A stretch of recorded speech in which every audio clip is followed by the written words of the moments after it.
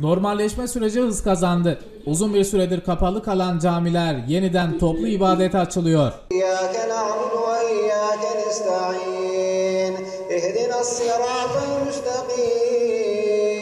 Yalova'daki camilerde ilk namaz 29 Mayıs Cuma günü kılınacak.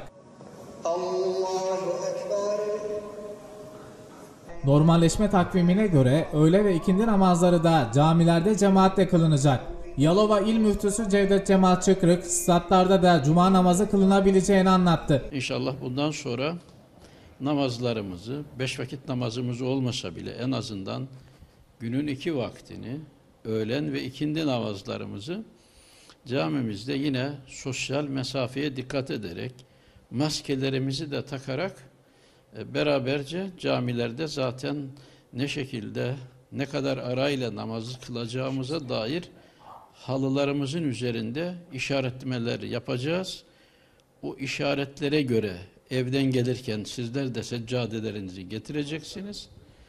O seccadeleri camide mevcut halılarımızın üzerine sermek suretiyle bundan sonra öğlen ve ikindi namazlarımızı cuma namazından sonra inşallah camide birlikte eda etme imkanı bulacağız. Cuma namazını nerede kılabiliriz? Açık alan olması hasebiyle Tabi camilerimizin bahçeleri siz de takdir edersiniz ki insanımızı almaya yeterli değildir.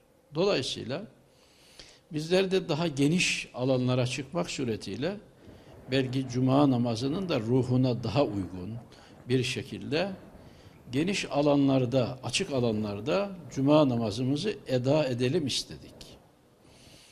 Bununla ilgili şehrimizin muhtelif yerlerinde, mahallelerimizde, mahallelerimizdeki camilerimize yakın statlar belirledik. Çim sahadır. Camilerde, nerelerde, ne şekilde cuma namazlarını eda edeceğimizi, nasıl gelmemiz gerektiğiyle alakalı bilhassa merkezi sistemimizden anons yapacağız.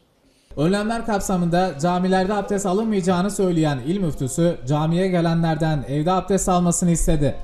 Camilerimizin abdesthaneleri tamamen kapalı olacaktır.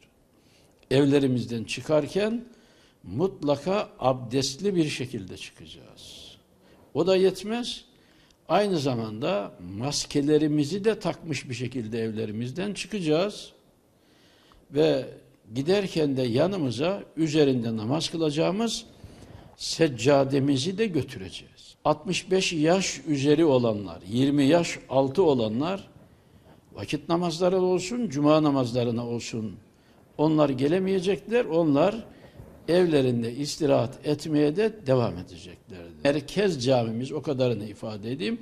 Gençlik Spor İl Müdürlüğü'nün e, top sahasında inşallah amatör küme maçların oynandığı o sahada cuma namazını eda edecek.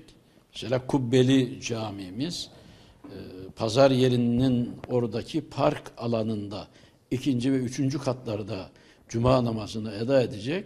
Yani şunu ifadelendirmek için söylüyorum. Bütün camilerimizin cemaatinin nerede cuma namazını eda edecekleriyle alakalı bilgileri inşallah size biz duyacağınız şekilde ulaştırmış olacağız.